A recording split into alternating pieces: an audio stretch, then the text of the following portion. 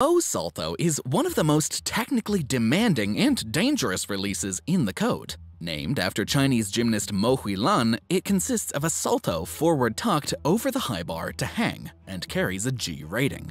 It is exempt from the empty swing deduction, but nonetheless still breaks the flow of the routine and it's practically impossible to link it to another skill to generate connection bonus, which is why we haven't seen it in almost a decade. Fun fact, only Chinese athletes have performed it in competition so far.